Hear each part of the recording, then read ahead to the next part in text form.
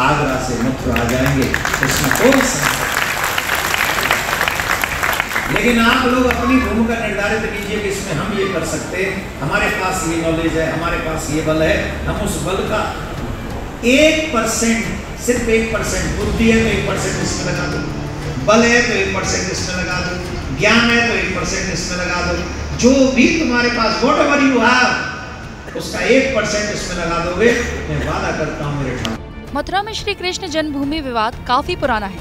विवाद तेरह दशमलव तीन सात एकड़ ज़मीन पर मालिकाना हक से जुड़ा हुआ है। मौजूदा वक्त में तेरह दशमलव तीन सात एकड़ ज़मीन में दस दशमलव नौ एकड़ ज़मीन का हिस्सा श्री कृष्ण जन्म स्थान के पास है, जबकि बचा हुआ दो दशमलव पाँच एकड़ शाही ईदगाह के पास।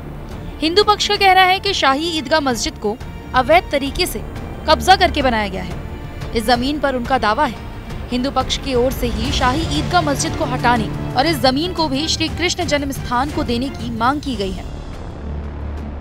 कौन कौन चाहता है कि रामलला की तरह कृष्ण भूमि का मंदिर भी बन जाए? कौन कौन चाहता है कि आगरा से ठाकुर जी जामा मस्जिद की सीढ़ियों से ऊपर जाए? राधे राधे मत बोलो। हाथ उठा के बताओ हम चाहते हैं। कौन कौन चाहता है? एक प्यारी सब पे भारी तो इतने प्यारी? आगरा से मथुरा आ जाएँगे। इसमें कोई संशय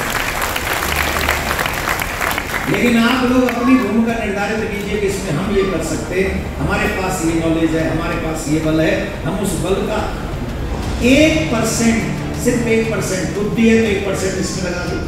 बल है तो एक परसेंट इसमें लगा दो। ज्ञान है तो एक परसेंट इसमें लगा दो। जो भी तुम्हारे पास वॉट एवर यू हैव उसका एक परसेंट इसमें लगा दोगे। मैं वादा करता हूँ मेरे कथावाचक देवकी नंदन ठाकुर ने भी अपनी कथा में श्री कृष्ण जन्मभूमि विवाद का ज़िक्र करते हुए लोगों से समर्थन मांगा। साथ ही आगरा की जामा ईदगाह के नीचे दबे विग्रह को वापस लाने के लिए भी संकल्प दिलाया। कथा में उपस्थित सभी श्रोताओं ने हाथ उठाकर उनका समर्थन किया। फ़िलहाल आपको बता दें कि कथावाचक देवकी नंदन ठाकुर वृंदावन में इन दिनों कथा कर रहे हैं और इससे पहले भी कई बार वो इस मुद्दे को उठा चुके हैं। फ़िलहाल कृष्ण जन्मभूमि का मामला कोर्ट में चल रहा है। आगरा से मथुरा जाएँगे लेकिन आप लोग अपनी भूमिका निर्धारित कीजिए कि इसमें हम ये कर सकते हैं। हमारे पास ये नॉलेज है, हमारे पास ये बल है। हम उस बल का एक परसेंट सिर्फ़ एक परसेंट बुद्धि है तो एक परसेंट इसमें लगा दो। बल है तो एक परसेंट इसमें लगा दो। ज्ञान है तो एक परसेंट इसमें लगा दो।